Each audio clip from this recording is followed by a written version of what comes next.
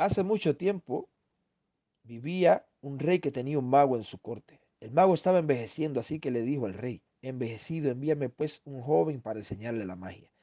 El rey le envió a un joven según había exigido el mago.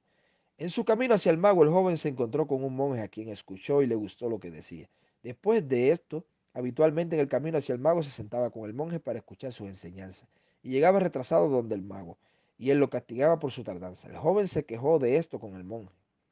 ¿Quién le dijo cuando temas el castigo del mago, dile mi familia me retrasó? Y cuando temas a tu familia, diles el mago me retrasó.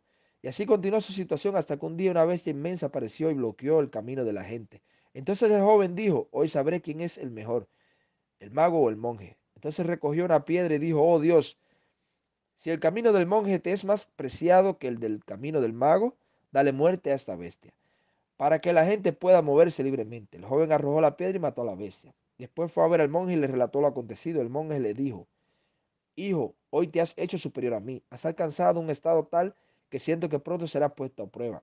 Y cuando esto suceda, no me reveles. Después de esto, el joven comenzó a curar a aquellos que nacieron ciegos y a los leprosos. Comenzó a curar a gente con toda clase de enfermedades. Cuando un cortesano ciego del rey escuchó hablar del joven, fue a verlo, llevando con él numerosos presentes, y le dijo, si me curas, todas estas cosas serán tuyas.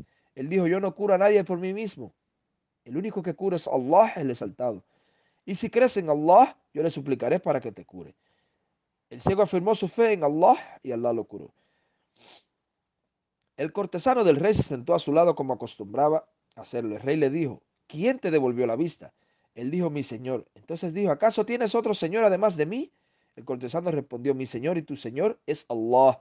Entonces el rey lo torturó hasta que le informó sobre el joven quien fue citado, y el rey le dijo, oh joven, se me ha informado que has llegado a ser tan hábil en tu magia que curas al ciego y a los leprosos, y haces tal y tal cosas. A esto el joven respondió, yo no curo a nadie por mí mismo, el único que cura es Allah, el exaltado. El rey lo mandó a aprender y lo torturó hasta que informó sobre el monje. El monje fue citado y se le dijo, debes abandonar tu religión. Pero él se rehusó. El rey pidió un serrucho y lo serruchó y lo cortó en dos partes que cayeron. Después trajeron al cortesano del rey y se le dijo, debes abandonar tu religión. Pero él también se rehusó. Entonces le fue aplicada la misma pena que al monje. Después trajeron al joven y le dijeron, debes abandonar tu religión. Pero él también se rehusó. El rey lo entregó a un grupo de cortesanos y les dijo, llévenlo a tal montaña y cuando lleguen a la cima exíjale que renuncie a su fe. Si se rehúsa a hacerlo, arrójenlo a su muerte.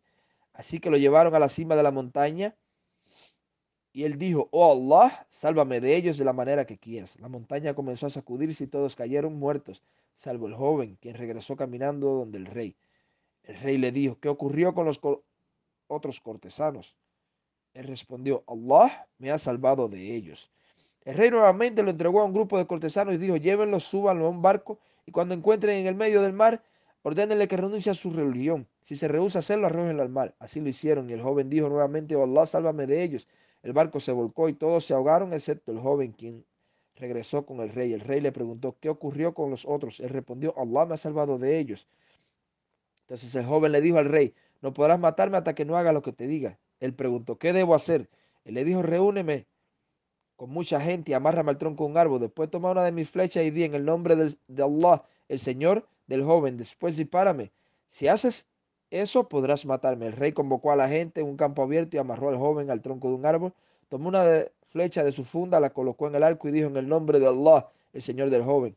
Y disparó la flecha, acertándole en la sien. El joven se puso su mano en la sien y murió. La gente entonces comenzó a decir, creemos en Allah, el Señor del joven. Alguien le dijo al rey, ¿ves lo que temías? Por Allah, ¿qué ha ocurrido? La gente ha creído.